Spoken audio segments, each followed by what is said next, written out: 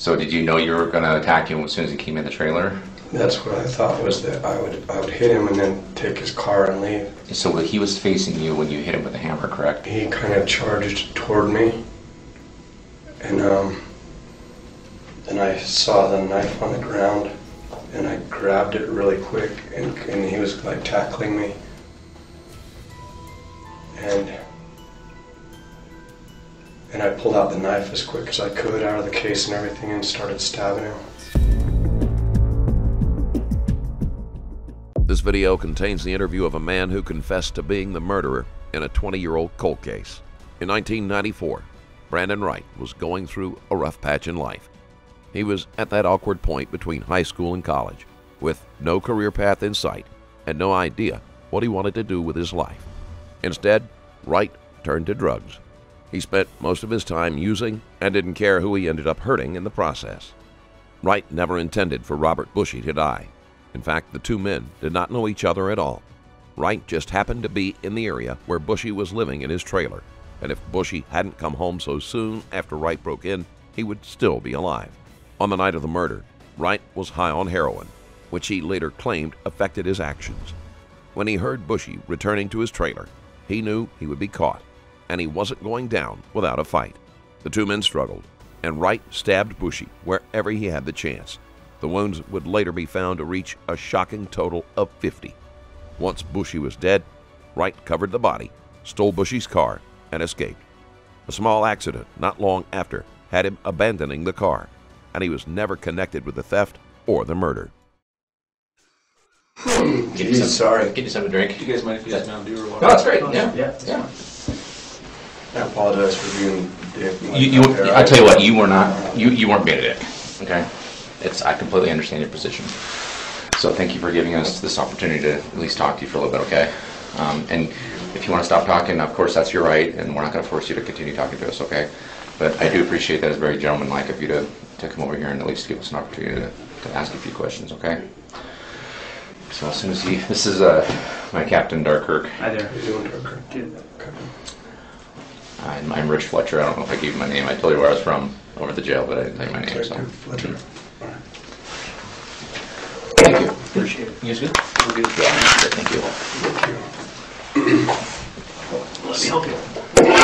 Thank you, sir. No. Thank you, sir. So, um, as we briefly discussed over at the jail, um, um, I did I did listen to your interview yesterday um, that you had with uh, Detective Wilson a couple days ago, and um, and I do appreciate your willingness to come in and talk about what what happened because it really not only helps the family, but it, it seems like it's helped you quite a bit to get it off your chest. So that's that's that's an advantage for both of us, I think. Um, the reason we wanted to come down and talk to you though is because after we listened to the interview, there's just some things that weren't addressed, and it's not um, it's not because um, didn't want to talk to you about it, because they didn't know the, the whole case. Because you came in and basically gave them the information about what had happened, and they they didn't know any history of it. So um, because we're from Kelso, where it occurred, uh, we have um, a lot more information about the incident itself that that was never addressed the other night. So that's that's why we came down and wanted to talk to you. Right. Okay. Um, during the interview, though, um, you gave them a uh, handwritten note that you intended to send to us. Yeah. Does that look familiar to you? Yeah. Is that the note that you wrote? Yes. So you drafted that in your own handwriting? Yeah. Okay, and it was intended for us to have? The family. Yeah. Oh, for the family? you guys. Yeah. Okay. Okay, I just wanted to, con- I wanted to confirm that, that that you handwrote that and signed your name to it? Yeah. Okay. And it looks like you wrote that on the 17th. Is that right? 10, 10, 12 days ago? It should um, have a date. Um, yeah. Yeah. Okay.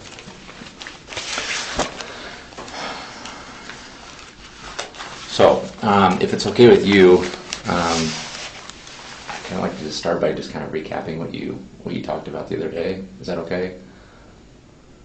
Um, And, and, the, and the only reason I want to do that is just I want to make sure I want to I want to be clear since I'm talking to you here in person um, that that's you know what you intended to to talk about. Is that is that okay with you? Sure. Okay. Sure. So um, during the interview, you, you discussed uh, leaving Utah um, and flying over to Portland. That's correct. Okay. And it was um, towards middle of August that you flew there? Yes, it was. It Okay. was Where's Miranda? What's that? No. Um, you haven't read your rights, correct? I have Do you remember your rights? I have the right to remain silent. I have the right to be represented by an attorney. I can't afford one that will be appointed for me. Let me go through the whole thing again, okay? I know, I know you read your rights the other day, and I know you, I know you remember your rights, correct? Okay, I'm reading to you again, All right. just for clarification, okay? You have the right to remain silent. Anything you say can will be used against you in a court of law. You have the right to talk to an attorney now when presently while you're being questioned. If you cannot afford to hire an attorney, won't be appointed to represent you without costing before any questioning if you wish. You can decide at any time to exercise your rights and not answer any questions or make any statements, and if you wish to answer questions now without an attorney present, you have the right to stop answering those questions at any time. Okay, like I told you before. Okay?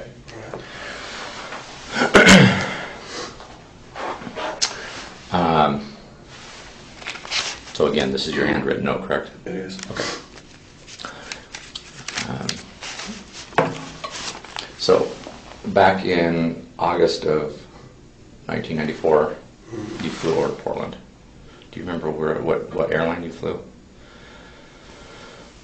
I don't. Okay. Do you, have you, had you flown much at that point in time No. in your life? I had never flown in my life, except for, yeah, I don't think I had flown in my life at that point.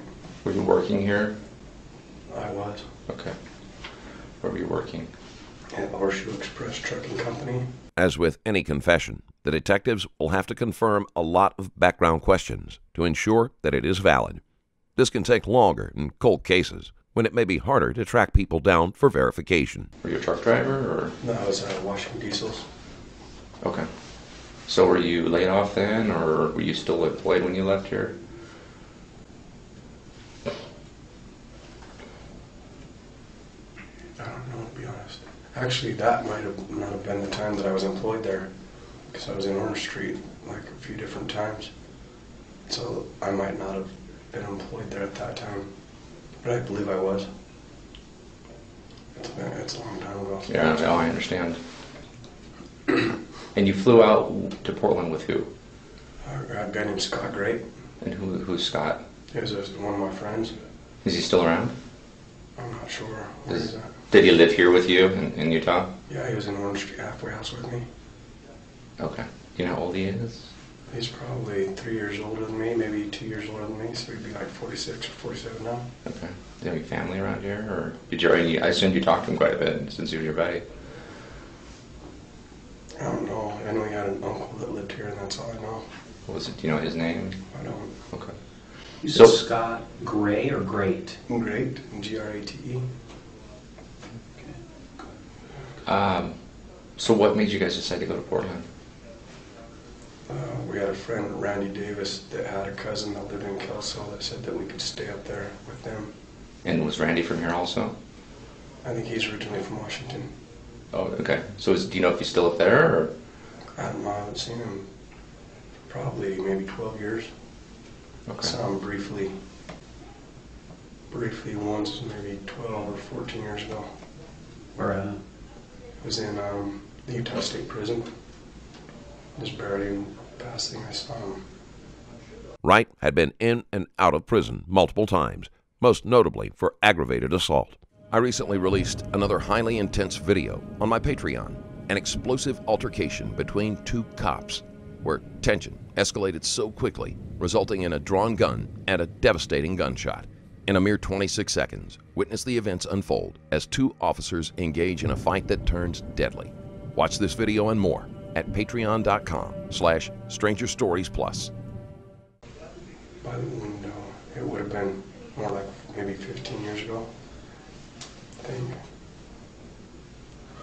And he told you that he had some cousins up in, Ca- in Kelso or Washington that you could stay with. So did you say like you wanted to go up there and, and like hang out, or I mean, how how did that arrangement come about? We're we didn't have a place to stay. Like we were gonna. Oh, we had a we got dirty urines at stupid at, like a, something not you- like a dirty urine at the halfway house. Mm-hmm. And so we were gonna run away or whatever.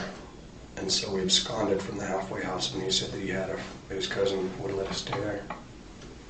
I don't know, kind of. Okay. So how did you um, how did you get your plane ticket?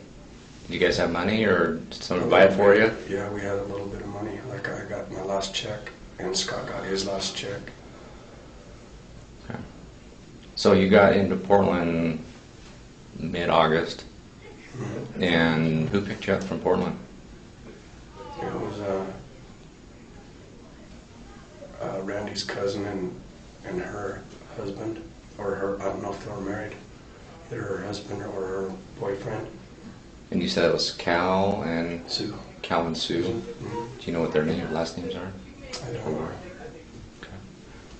What did they pick you up in? Do you remember that? I don't remember the specific car, but it was. Uh, seems like it, it was an older, like one of them uh, boat cars, kind of not a boat car, but you know what I mean. Uh, I don't know. It's like a big sedan, big four-door car. Yeah. So, um, so they picked you up, and I assume drove you up to Kelso. Yeah. Do you know where they live? Like Longview, count out in the county, or in Kelso somewhere? I don't. Not sure. Don't remember. I don't remember. Um, so you stayed with them for a little bit. How long did you stay with them? Probably maybe seven or ten days, maybe, or somewhere between maybe seven and ten days. Okay. So how long did you intend to stay with them? I don't know, indefinitely, or I don't know. You're just gonna I was- obtain residency up there and just stay there? More or less, but then, uh, I don't know, I don't seem to like get along well with people apparently for very long periods of time, so I was just gonna come back home. And they dropped me off by a place where the train comes by, and I was gonna try to jump on the train, but it went by too fast every time. There's no way I could have jumped on that train. Okay. So, um, did you did you have like a, uh, a disagreement with them or something, or why did you leave their house and and go go down and, and, and stay in the shop It was or a the shed? It was a mis. It wasn't a misagreement. It was me. Like I have a difficult time getting along with people, and so I told them I had to leave, and they were like fine with that, and they, they yeah. So it was like a mutual thing. So you just left on foot then? They dropped me off by the train, by where the train goes by the river, by a river. Okay. Did you have a were you on foot or did you have a bicycle or On foot. did, did you ever have a bicycle? Did you ever find a bicycle? Mm-hmm. Okay. And any other transportation other than by foot? No, not until I stole Mr. Bushy's car. Okay. So they dropped you off at the train depot, and um, you obviously walked from there. How far do you think you walked? Did you walk around for a couple days, or or was it the same day that you found the shop? I think it was like two days Okay. Where did you stay for those two days? in the bushes by the river. Okay. So um, when you left the river then to go, and you ultimately ended up at Bob's property, how, what what what took you there? Yeah, I got I was smoking cocaine with this guy and I got all paranoid that he was gonna beat me up. Even during a murder confession, most suspects are reluctant to admit to drug use. Wright does so without needing to be prompted. You remember who that was? I don't. Okay, just a No. guy on the river. Yeah. Okay. So um, you left him then, and then just happened upon this property. I was running running through bushes. I don't know. I thought like all of a sudden him and a bunch of people were chasing me and I was like I was really, really like paranoid that they were gonna attack me or something. Mm-hmm. So I was just running through all these bushes and then I stopped some where to listen and I laid there for a long time. Seems like it would not have been like overnight, all the way overnight. But I, then I got up and started walking again. And, and that's when I encountered at that that um, shop. So you talked about uh, a big shop, a big shed-like shop, and then you you talked about a house and a travel trailer, and a big box van truck kind of a thing, and then a red car. Um, now, correct me if I'm wrong, but you had mentioned, I think during the interview, that, that you had entered a shop, the shop, the big metal shop first. It was a wood, wood shop. Like I think it was made out of wood. Could it have been metal, or you just don't remember? It, maybe it could have been, but I don't think it was.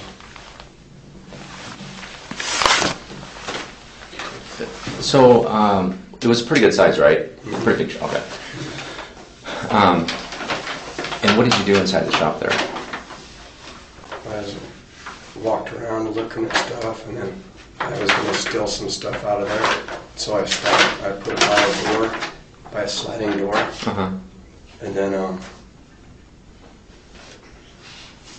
um and that's it, and that's all well I did in there. So if I showed you, Just just a quick clar- clarifying question. How did you get into the shop? I think through the side, through a side, like there was a, a door that you could, you could slide out a little bit or something. I Was that, think, was that I unlocked? think that was, I honestly don't remember. I don't think it was unlocked. so if I showed you a picture of the shop, do you think you would recognize it? More than likely, I would imagine that would. Did, was there any um, was there any refrigeration in there? Any Not that I know of. fridge, freezer, or anything like that? Not that I know of. But you said there was some other property in there. What kind of property? Like all kinds of camping equipment and shop equipment and like tools and things like that. Is that where you got his his tools that you ended up taking eventually? Okay, so the welder and the And the skilly side, it was called power saws or something. And the what? Power saws or skill saws or something. Didn't you see you took a couple of those too? It seems like I took some other power tools, but I don't remember what they were. But that's where they came from, was the shop. Um, and you stayed there for, I don't know, maybe two or three days. okay. At what point did you finally dis- decide to go over? I mean, If you were in that shop, you kind of knew that someone was staying in that travel trailer then? Because it was close by, it was only 30, 40 yards away maybe? Is that about right? So you knew someone was coming and going from the travel trailer? I didn't know that they were living in there at the time, but then I came under the impression that somebody was because it was like like somebody was living in there Mhm. like currently. So Okay. That time currently. So uh, wh- at what point did you decide to go over to the trailer? Um, during one of the days when I was getting s- real hungry, I thought there might be some food in there. Okay. So you decided to go in there and look. Mhm. Okay. You had mentioned before that you broke a window out to get into the trailer. That's correct. Okay. Did you? How did you break out the window? I don't remember. I don't remember like if I put something on it and hit it, or I don't remember to be honest. There was a. Wright was under the influence at the time, and 20 years have passed. Even if he is telling the truth, some of the details might be difficult or impossible to recall. Before we move forward, I want to extend my thanks for watching. This video today has no sponsor, so if you're enjoying it, subscribing helps the channel grow. You can also check out my second channel, Stranger Crimes, after this video. like a welder's cap. Mhm. A welder's like a head protector in the hole, and it's stuffed in the hole. Do you remember anything like that? Could you have used something like that to cover your hand with? Easily, but yeah. You're not sure. If I showed you a picture, it might, it might recall memory. I remember seeing like some welder caps, but I don't remember how I broke the window, regardless of whether there was something in the window or not. I don't remember. Did you ever cut your hand when you broke the window? Do you remember cutting your hand? I don't think so. I think I broke my. I think I cut my hand during the struggle with the knife. Right there. Do you still have a scar of that? Yeah. Oh. Mind if I take a picture of that? On your thumb, or? Yeah. Is that what you just showed me? That little mark right there? You think that was caused by the, The knife closing on my hand. Oh, during the incident itself? Yeah, How bad did it bleed? I don't remember.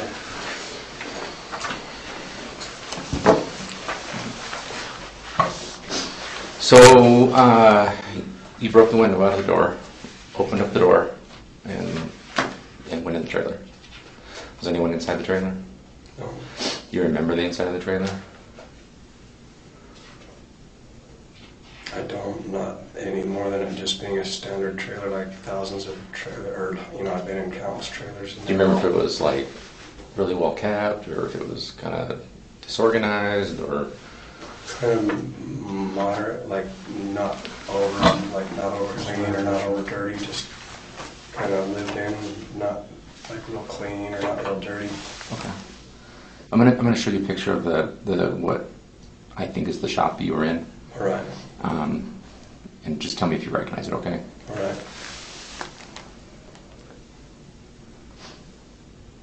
That easily could have been it, yeah. Okay. That's I metal. That's made out of metal. So, Uh, but that's a big shop that was on the property where the trailer was.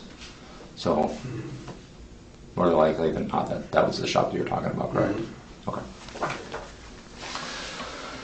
Uh, so you said it wasn't real clean, but But it wasn't dirty either, it was Okay. not that dirty. so uh, you got into the trailer, and um, was there anything in the trailer that you were going to take, or just, or were you just looking for food? At first, I was just looking for food, and and then I thought there might be a gun in there or something. I've been like into guns when I was younger, so hmm So what did you have to eat in the trailer? a bunch of boxes of granola bars. Okay. Did you make any food? Just ate ready to eat food. Anything else? Not that I remember. I think that was it. Okay. And I think you told Detective Wilson that you were in there for like hours. Probably a long time. So what were you doing in the trailer for so long? Were you sleeping or just hanging out looking at stuff or because that's quite a long period of time to be quite honest with you. it is. Yeah. It's hard to remember. Yeah. It just seems like I was in there for a long time. Okay. Were you high then? I'm sure I was, but not, not like just maybe in a residual way from lack of sleep, like REM depression. I was probably up. I don't know. I don't know. Um, from the time that I left Portland, I mean, I left Salt Lake, I probably slept two partial nights in like 20 day period or something Hmm. even though I didn't continue using drugs after I left Sue and Calvin. I was probably just, you know, still kind of gone mentally because of the de- REM deprivation. I would imagine that had an impact, not that uh, it's an excuse or anything, but that's just a, like a legitimate thing, like you could take into consideration. The detectives don't understand why he spent so much time in that building, but Wright is honest about his mental state at the time and how it might have influenced his actions. in considering my frame of mind at the time. Not that it takes away from their responsibility, but absolutely that would have an impact on, you know, everything, whatever Yeah. that would happen. So I assume you didn't have any spare clothes because you left Calvin and Sue's place. Did you take any clothes? Did you find any clothes to take with you? I don't know if, I don't think I did, Okay. Um, May- unless I took some clothes from, that I had, that I brought from Salt Lake, maybe. how about any gloves?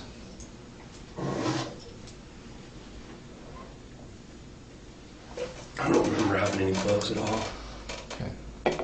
Where did you find the hammer? I think it was just in, uh, I think it was inside of the trailer somewhere. Was just laying there? I think so. So it was kind of an impulsive. Yeah, You said you saw uh, Bob come home. yeah.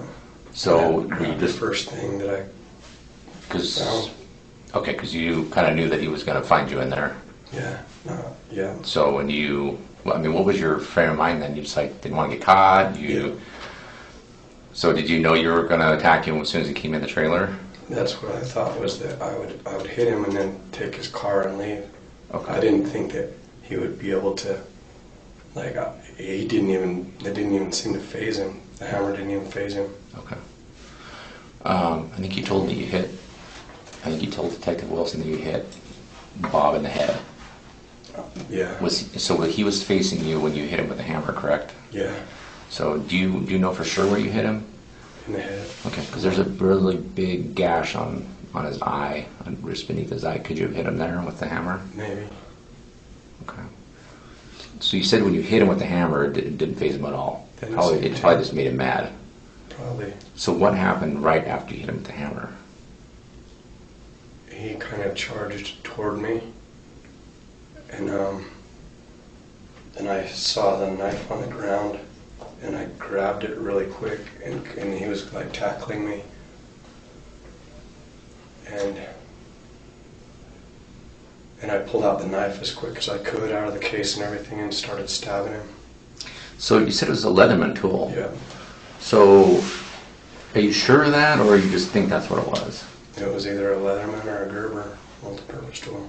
It was definitely a mul- multi-purpose Yes. tool. It, it wasn't a folding knife, No. but it was in a case. Yep. So you actually had to take the case open, remove the device, and then open it up. Yeah. So a Leatherman tool is Leatherman tool is you have to open it up and then take a blade out of the Yeah. handle itself. So you had to manipulate Yep. quite a bit. Do you remember doing that? I do. Okay, Like so- just briefly, it was like getting tackled and like just super fast. I don't know. It's like who couldn't even imagine it, but that's exactly what happened. Okay. Was he hitting you? No, he was like tackling me, like with his arms. So- So there were no blows being thrown. It was like just coming at me, and then I got.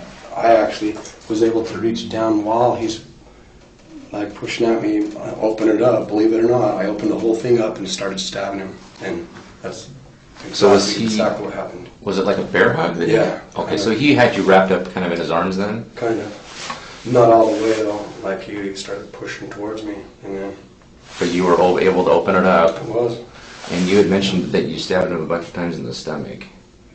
Was that because you couldn't get higher? The attack wasn't planned.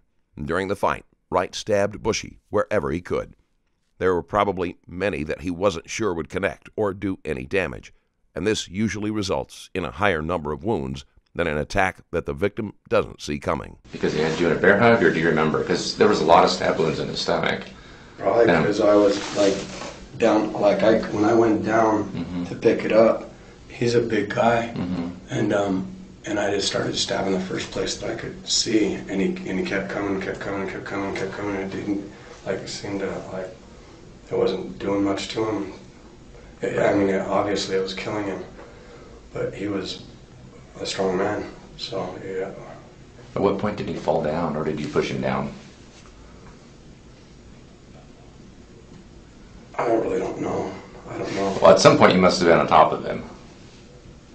Maybe at the end, no, I don't know. I don't think. Uh, oh yeah, yeah. To, and then I covered him with some blankets and stuff.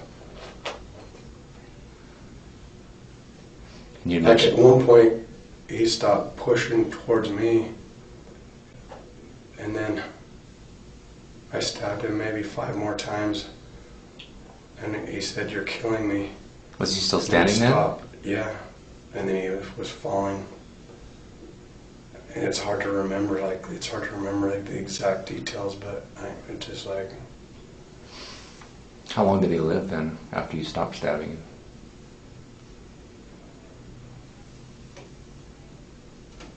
I don't know, maybe. Oh man, maybe. Maybe five minutes or so, maybe. Quite a while then. Yeah. Because five minutes is quite a while if you're Yeah. watching something like that. Yeah. Maybe. Was he 'Cause talking? The, the reason I think that's because that's when I, I think that I started smelling like feces and urine. Oh, okay. Wright has a rough idea of how long Bushy survived after the attack and informs the detective that he believes it was about the time he noticed that Bushy's body had voided itself. So I think that, that, that he was deceased at that point, but he may- have died before that. Did he say anything after he fell down? No. So he only just said, "You're killing me," when you were Yeah. fighting with him. Yeah. Is that the only thing he said? Yeah. Never say anything else. No. So after you, after you thought he was dead, and you smelled smelled urine and feces, Yeah. Um, you stuck around for a while. I did. Okay. Why did you stick around? Oh, I don't panic. I didn't. I don't even know what. Yeah, what was going through my mind. I can try to think of it. I'm not. I don't even know. I was scared. I, obviously, I was really scared. I, I, I think.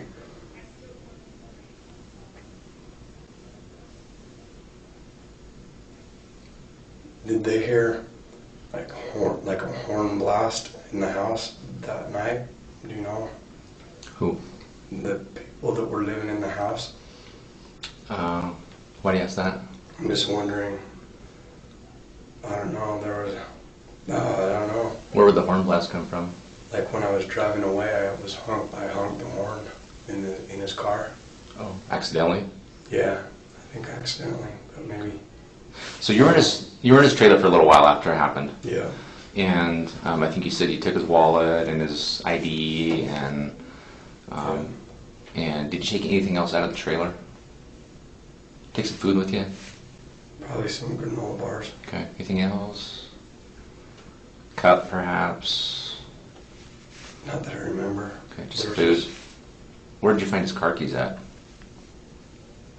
In his pocket. So you dug through his pockets and grabbed his wallet, grabbed his keys. Take any money?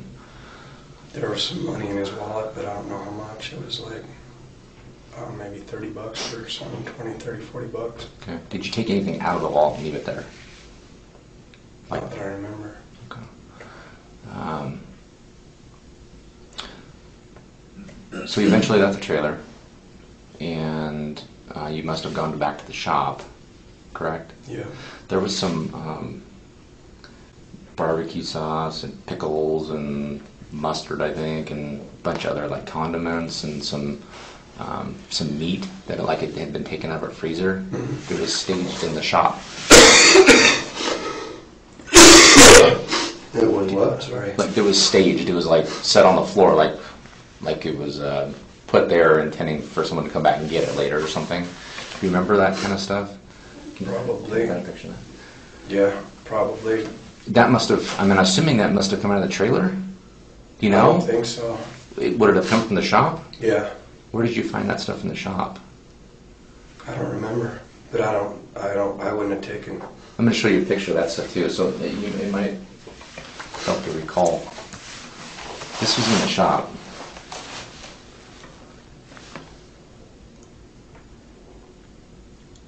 There might have been a freezer somewhere. Do you think there was a freezer in the shop? I mean, were you intending to maybe eat that there and while you're staying in the shop, or, or you just don't remember? I don't remember. I probably did eat some stuff in that shop or something, Okay. but I don't remember. Is it possible that you brought that stuff from the trailer and like left left it there while you were taking things out of the shop to leave? I don't think I would have taken it from the camper to the car, to the to the camper. I mean, to the uh, shop, and then take it out of It the wouldn't car make sense, and would put it? it into the shop. Yeah. No. No. The reason behind the placement of several items can't be accounted for.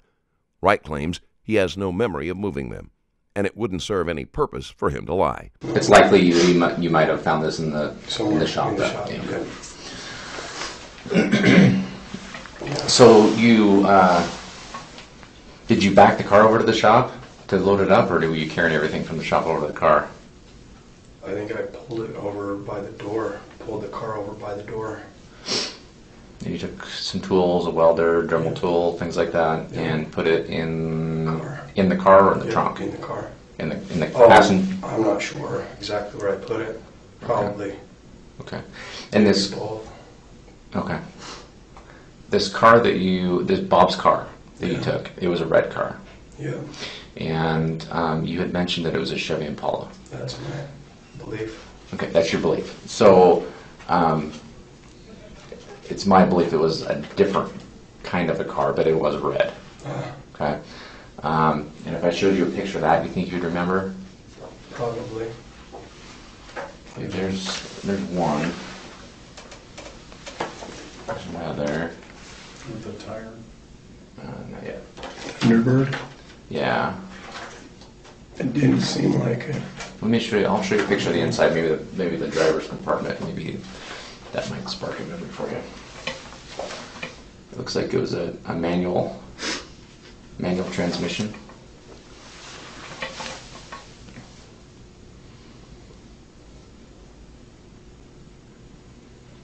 This is Bob, this is. Bob's car.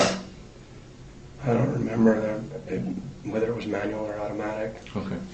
But it was definitely a red car. Yep. Okay. This is Bob's car that was taken from his property All when you- when you left. And you, you had mentioned um, on your way south, after you left Bob's house, Yeah. after this all had happened, um, you left Bob's property that night, like within hours after killing him, correct? Yep. Okay. Um, and do you remember? I know it's going to be hard for you to recall, but do you remember what time of the day this happened between you and Bob? it was summertime, so it was probably light until about nine o'clock at night. Then it's hard to estimate because it was, it seems like sometime between 5 p.m. and 7 p.m. So it was still light out then. A little bit, Okay. I think. And you had mentioned um, when you drove down to Portland, you, and you were headed down to Portland to to do what? There's a couple I was trying to go to Salt Lake. I was just trying to go You head back home. Were you, were you intending to drive the car back home? Yeah, Okay. probably. Uh, but you fell asleep Hmm. and you hit a barrier or something. Just yeah, those cement medians, like on the freeway Okay. barricade, or you know, just those center dividers. They're concrete. Do you remember where that was? If the accident had caused Wright to be caught with a stolen car that night, Bushy's murder could have potentially been solved sooner. It was um. It had to have been in Portland And why do you say that? or on the outskirts because soon after I pulled over, pulled off the freeway into the park, and um, that turned out to be Burnside, um, Portland or something. Okay. The car was found with a flat tire. It was actually a, the the tire that was flat is actually the right front tire.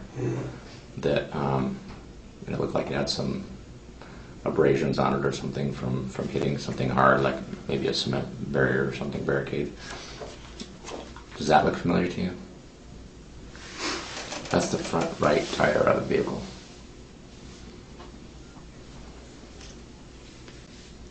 I, I can't remember. That doesn't look that that doesn't look really familiar. Okay. Did you ever get out and look at it, or just kind of realize that was a flat tire and that that it was kind of out of commission at that point? Yeah, I looked at it a couple of times, but I don't remember the the details about how it looked. Okay. Well, the story that you told the other night um, to Detective Wilson um, actually was consistent with the condition of the vehicle. Um, I mean, being 22 years ago, it's. I mean, I can see why you would maybe mistake the front left tire from the front right tire. It's, I think I said the front right tire. actually, said the front left. So that's what was kind of. That's what made me go back and look at the photos. But I was But pretty sure I said the front right. okay, well, it is the front right. Yeah, that's correct. Or oh wait, front right. You mean on the driver's side or the The passenger, passenger side. That's the passenger side tire that was that was damaged.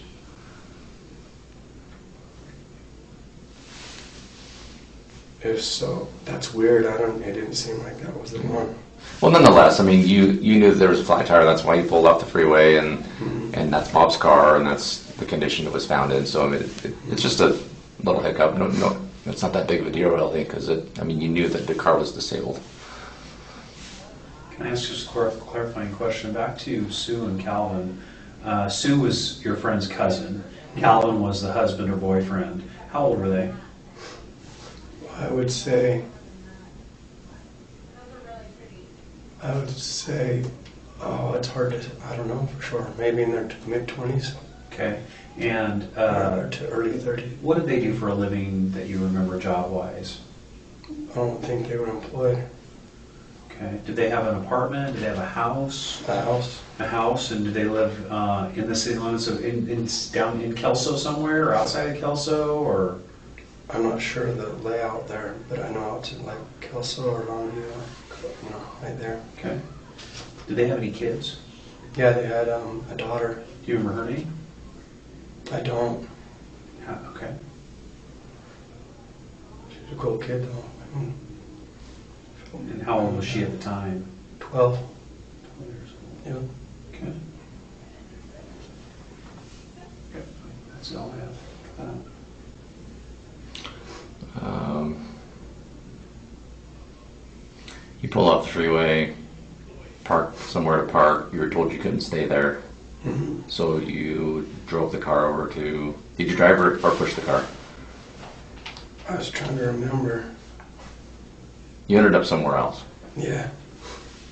There's a guy that like stopped um, with the police officer there.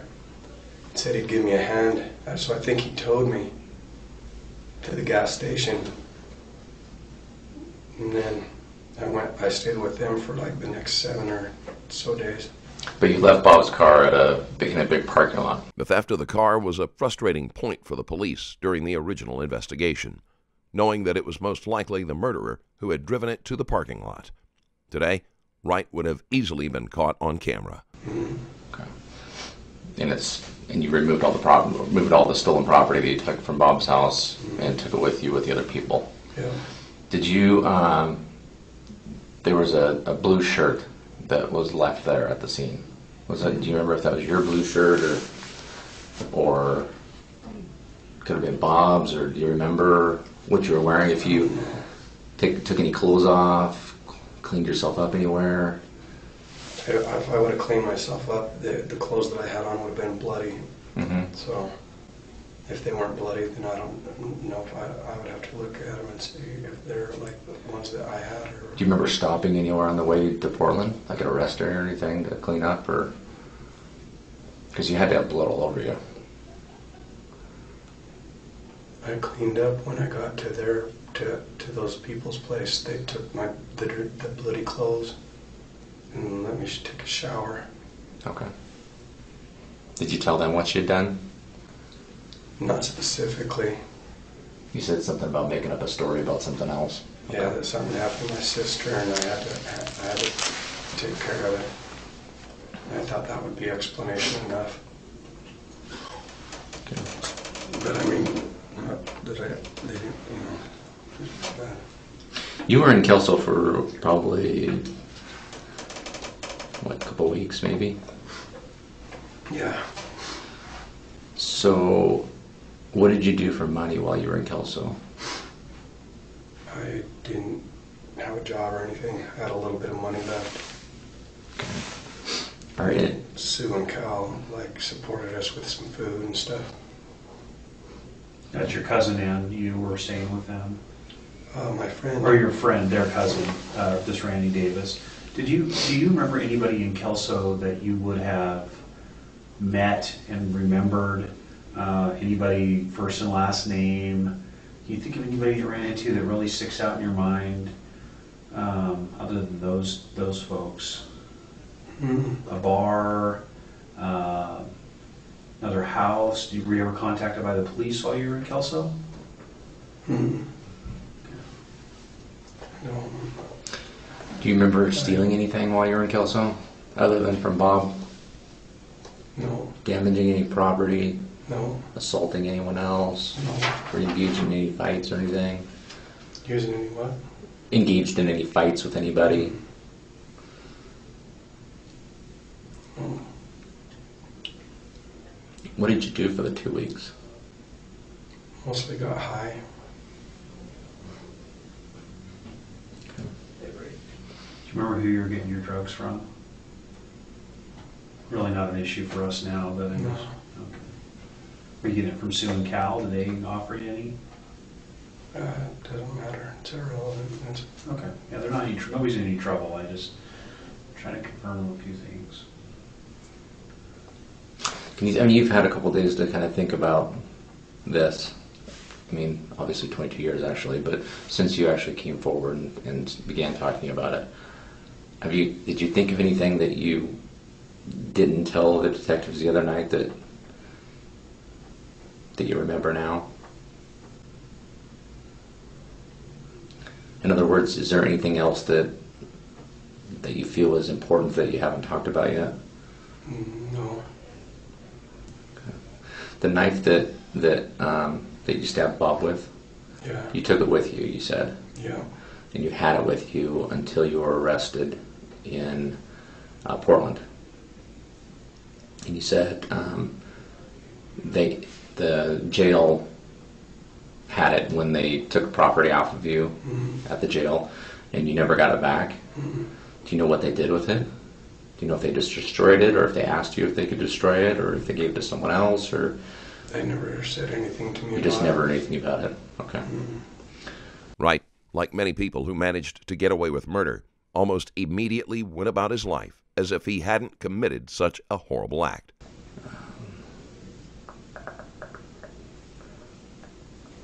The um, you were you were originally charged with uh, possession of some kind of an illicit drug in Portland when you were when you were arrested down there because you overdosed. I think in a bar. I think you said. That's correct.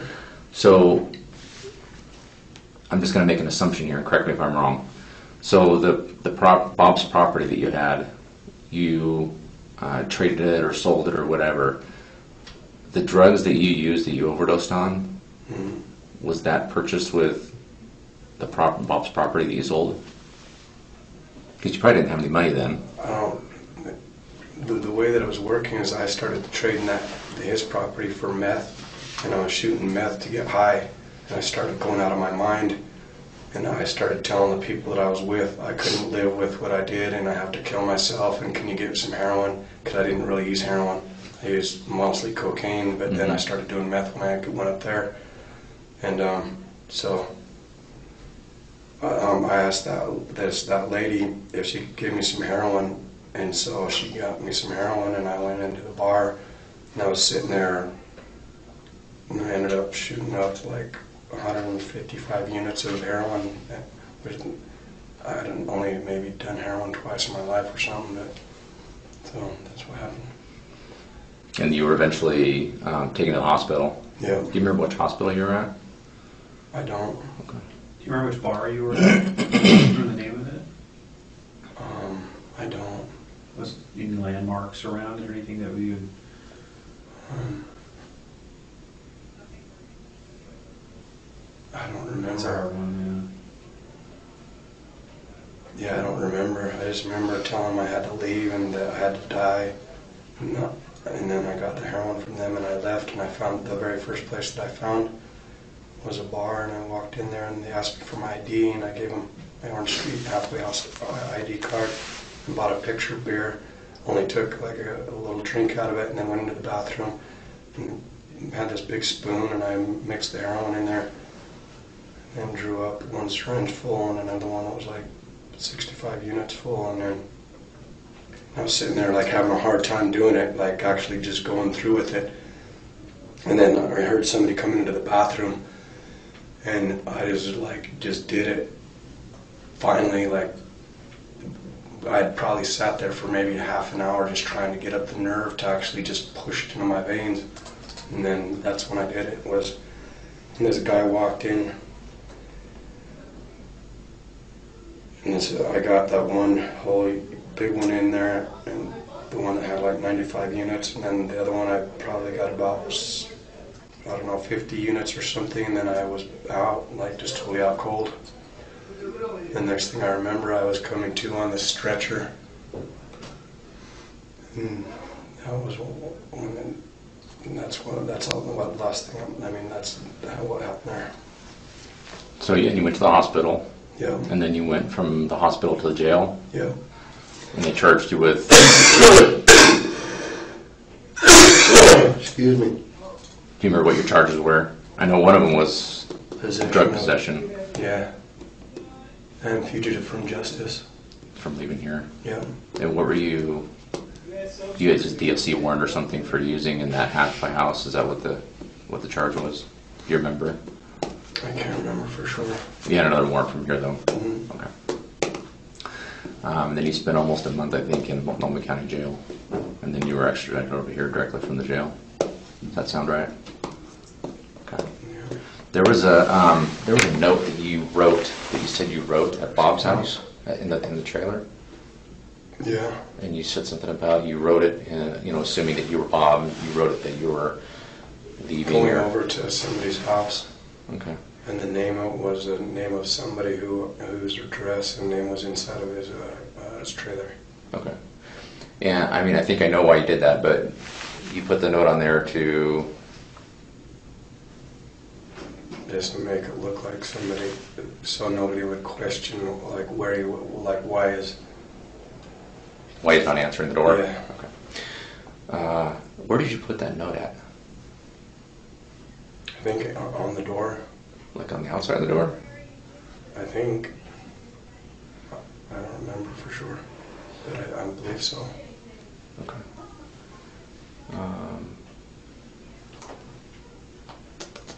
Did you sign it, Bob, or did you sign it somebody else's name? I can't remember. I would imagine that I would have sent it Bob. Did you say anything about a designated driver? Huh. Okay. Not that I, not that I know. I can't remember.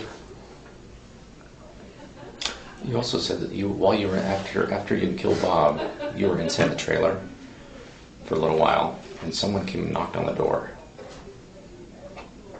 Did you look out to see who it was? Did they say anything through the door?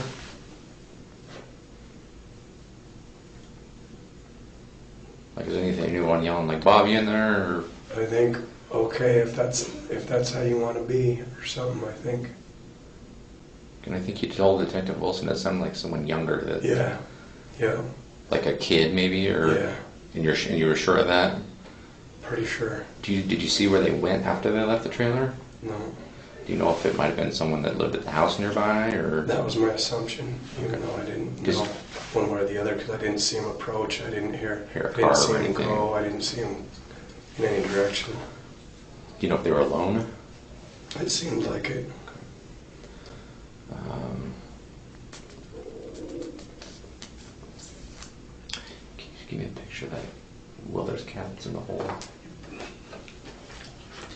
Take a second, I'll find it.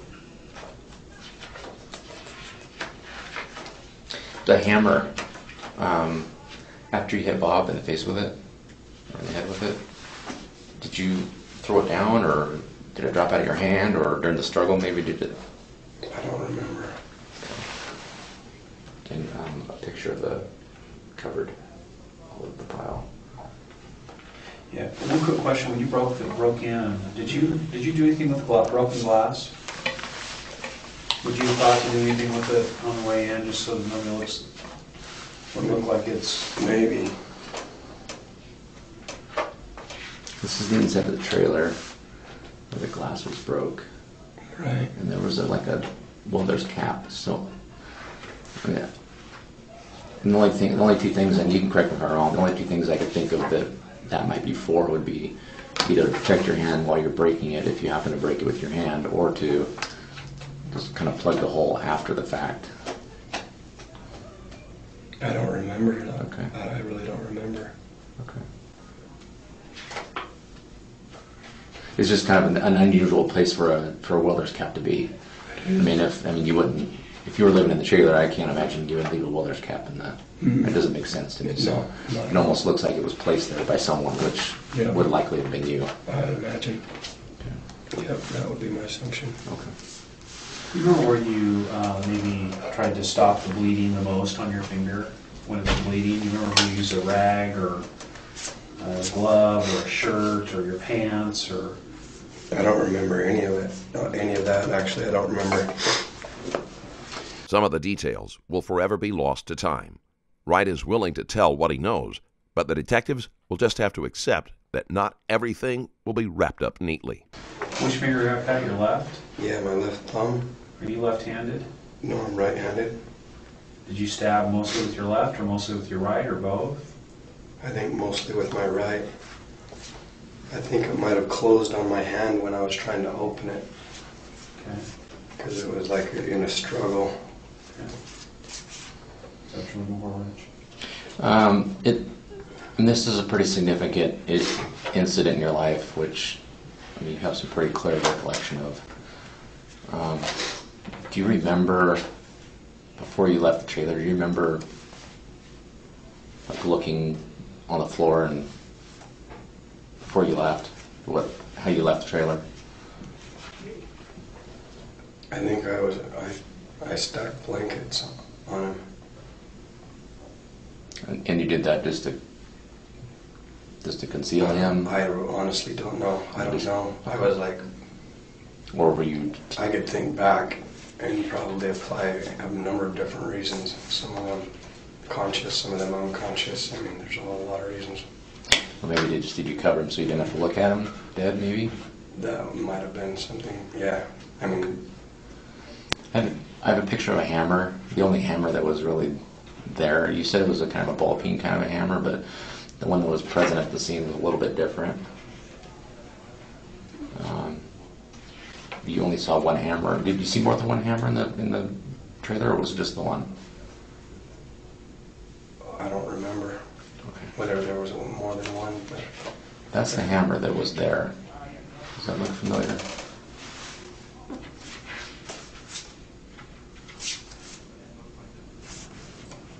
Um, I might have a wrong re- recollection of it. Okay. Well, that was that was right next to Bob when he was discovered. So. Could you have put some gloves on after the fact to, to work with the, the towels or the ra- the blankets or him, or could you have put some gloves on that maybe were inside the trailer that you found? Maybe, but I don't remember. I don't remember how, like there being gloves. Do you remember what, uh, I know you were, said you were a smoker back then, do you remember what kind of cigarettes he used? in the trailer? I don't know if he smoked or not. Do you remember um, any of the manuals or anything that were laying around? I know there was a computer book. Okay. I remember a computer book, and and I didn't even know that he smoked, and and except I saw in the ashtray in that car, in the photo of his car, there were cigarette butts in there. Do you remember a bunch of cigarette butts in the car when you were driving it? The detectives have to know that Wright would not recall such a thing unless they are using it to test whether or not he would make something up to make his story sound authentic. That is something that a person making a false confession would do. But Wright has already given them enough information that they can tell he was involved. I don't remember one way or the other. Okay. In that respect, but You just say that because of the picture. yeah. So I'm going to show you a picture of the trailer when when uh, when the police finally showed up at the trailer when the body was discovered. Um, can you tell me if this is this if this to your to your best recollection that this is the condition in which you left it? Why would it matter? Like if I, I, I don't know. I don't. Well, I'll, ex- I'll explain why after I show you the picture. Okay, there, there's actually a reason why I- I'm asking this question. Okay, do you think you might recall it or not? I don't know. Because if you don't think, if, if you didn't ever, I mean, after you covered him up, you, you said you covered him up with a bunch of blankets, just stuff from inside the trailer there that was laying around, correct? So you covered him up. Um, could you have covered up with some clothing too? Probably. Just a bunch of articles that were there at the time? Probably.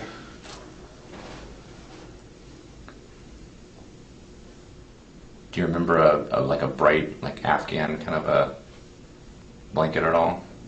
There's the one that I saw in with that other picture that's pink.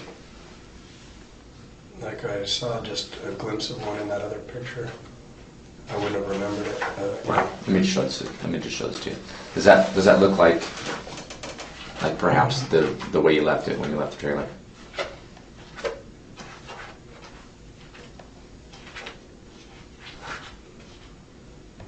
Probably. I think so. Like,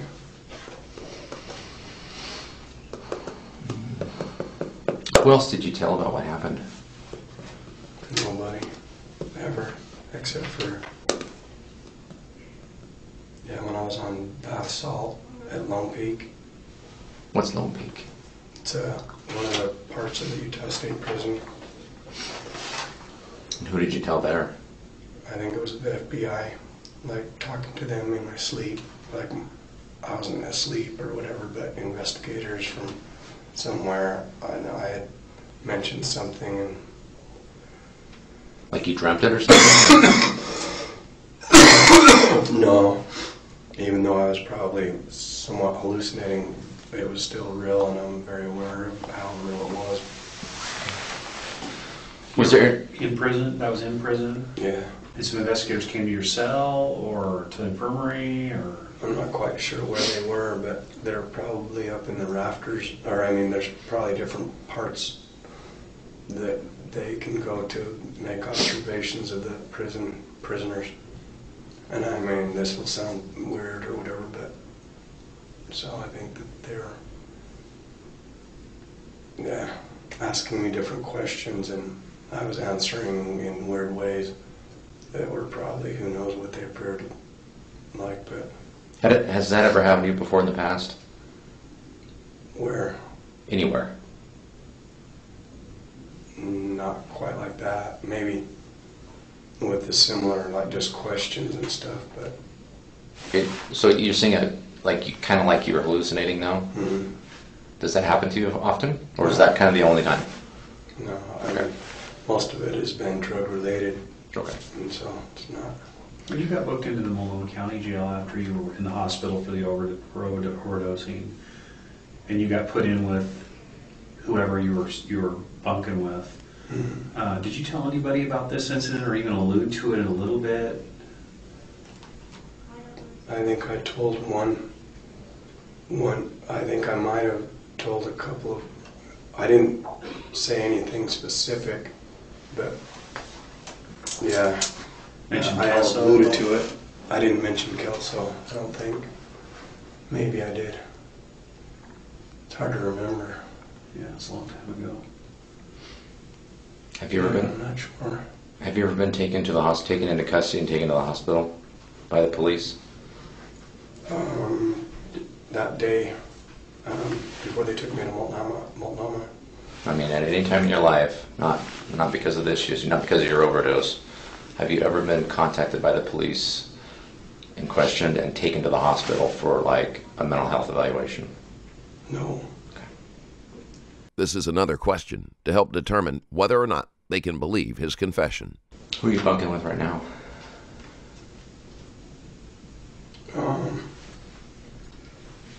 I don't, can't even remember his name. I think his name's Jim. He introduced himself. Uh, like today, I asked him what his name was, but I can't remember now. Did you talk to him at all? Not at length. I, I've mostly slept, Okay. and he slept. I'm gonna be I'm gonna be perfectly honest with you. I'm I'm just gonna tell you right now that I'm I'm gonna go talk to him. So, did you say anything to him about why you're in there? No, Okay.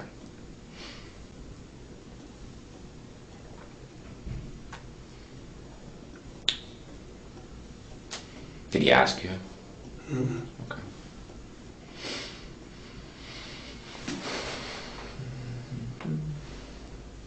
Anything else? Do you have any questions for us? mm, Yeah, I'd be willing to answer your questions for you if you have any. You'll, you'll get you'll get extradited to Washington back to our to our jail, Mhm. um, and uh, if you want to reach out to us at any point, and talk to us. Um, you just tell one of the one of the corrections officers there that you want to talk to the Kelso detectives. all right, We'll come. They'll get a message to us, and we'll come talk to you. all right. Um, We're gonna end up coming down and picking you up. Well, maybe not us, but someone will probably the next week or two. all right. yeah, just depends on whether or not you fight the extradition or not, and that's not anything we even care about, but that's up to you. Um, Can I, can I ask, just let's, if we can go back to what made you walk in the door this weekend and, and tell somebody this and write that note, can we, can, you mind if I ask you why you did that? Yeah, it's been a long time coming. But yeah, something I've been running from forever. And just, yeah, I don't know. It's nothing. It's not my doing. What do you mean by that?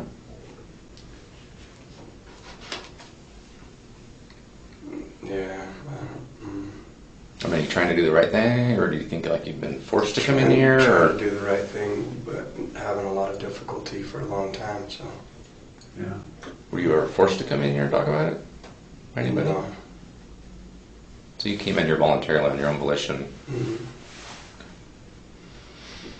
Did you get any tattoos while you were in Kelso? I didn't. Didn't- We have some tattoo people up there. Had you ever been to Kelso before that two-week period? Had you ever been there before? I hadn't. Have you ever been back since? I haven't. Had you ever been in the trailer before the, when you, the, the day you went in and got confronted by him? No. Um, Did you know him at all before this incident? I didn't. And the reason I ask is his driver's license says Robert Boucher. You keep referring to him as Bob. And I'm just wondering if you just, uh, you've come to that because most Roberts go by Bob? Is that why you've done that or? No, I think that his license says Bob. Okay, and you, you said you got rid of that license. How did you get rid of that license? Inside of a windowsill um, of a vehicle Okay. that the guy was letting me stay at his, at his house. Okay. Do you remember what kind of car that was? It was a, one of those vans that um, have like a, a bed. They're like a flat nose van, like a older, kind of like they're kind of unique. Um, I don't know how to what the terminology used to describe them is, but Like a Volkswagen van? kind of. But it, but um, like a Volkswagen van, but with a truck bed instead of a. And you don't remember their names? I don't. I don't. How old are they? They're probably, I think the guy was maybe four or five years older than me, and the woman was probably 15 years older than, or 10 years older than me, or 15 years older than me. Do they have kids? Mm, not that I know of. Okay. Um,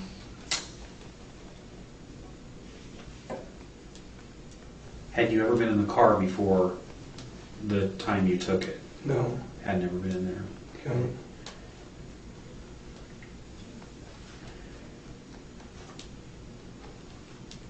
Do you remember anything that happened to the license plate to the front of that car? I don't. Okay.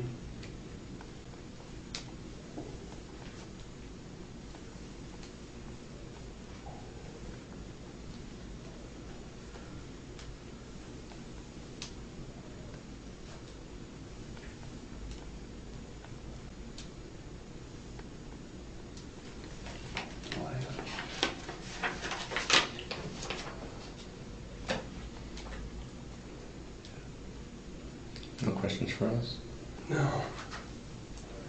Brent, I really appreciate you talking to us. It, it does answer a lot of questions about peripheral things that, that we thought were related to this that, you know, may or may not, may or may not have been at this point, so, but, um, it is helpful, and I appreciate your willingness to come over here. Can we get a picture, just your face shot um, before we leave? The detectives thank Wright for coming forward. Finally, Bushy's family can start to receive closure for his death. Sure.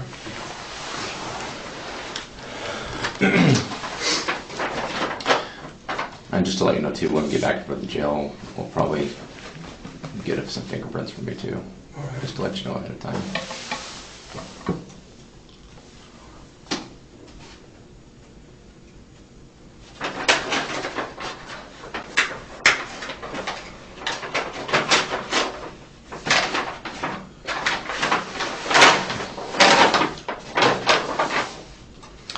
Um,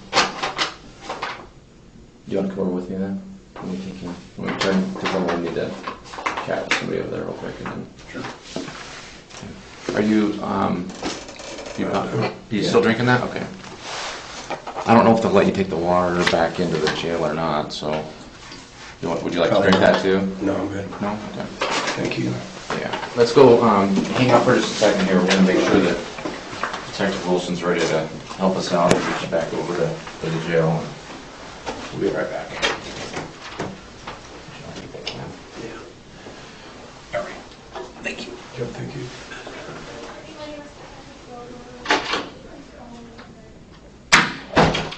The family of Robert Bushy requested Wright be given the lightest sentence possible, not wanting his children to grow up without a father.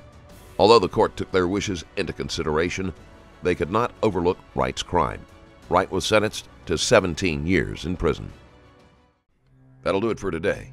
If you like this video and want to support the channel, there's a Patreon link in the description below where you can do just that. Thank you for watching. Stay safe